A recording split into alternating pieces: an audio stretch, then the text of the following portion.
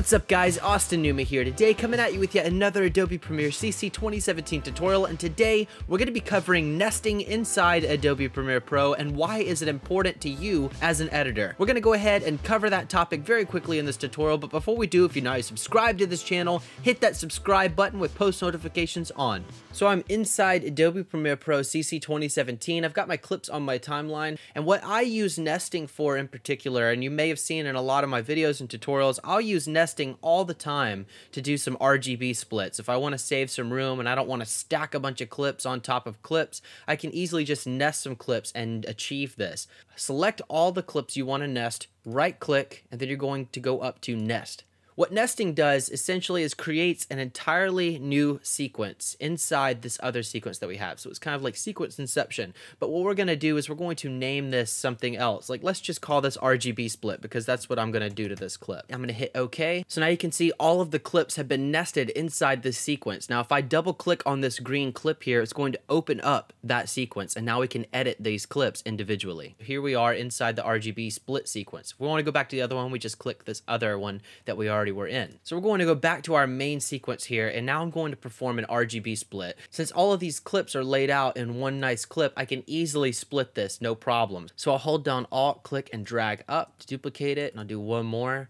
Now I'm going to go over to my effects and I'm going to apply my RGB split preset that I've created. So now I'm going to offset these clips a little bit just to really show the RGB split. So I'll just kind of scale this up a little bit. And maybe I'll take this one and scale it up and then move the position a little bit. So now I've RGB split all of these clips all at once and now I've only have these three clips to manage. If I wanted to add more to it, then I could simply go back in here, add some to the sequence. Like let's say I wanted to hold down Alt and drag to duplicate this one. Now we're going to go back in and now you can extend these out. You're only going to be able to extend these out as long as these sequences are on the inside. So for example, if I took this out right here, then you're going to see this little blank spot when I bring it back to it, I'm not going to be able to bring it out anymore unless I add this clip again to the end here.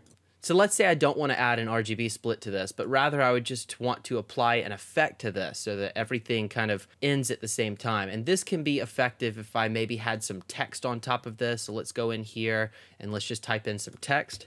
So I'm going to put my text on the last clip here, and I know this doesn't look all that good, but uh, this is just kind of a basic design. So if I want to fade this entire clip out at the same time, and I used to have to go to the text, and I used to have to go up to the effect controls and just apply a crossfade, or maybe just set the opacity at 100 and go to the end of the clip and then set it to zero. But now you can do it on one clip, so everything will fade out at the same time, which is really handy. So I think you're going to find nesting very helpful for all of you editors out there working in whatever capacity you are in. I hope this video was helpful. If it was, make sure to leave a like on this video, subscribe to this channel for more filmmaking and editing tutorials just like this one with post notifications on. And until next time, guys, we'll see you later.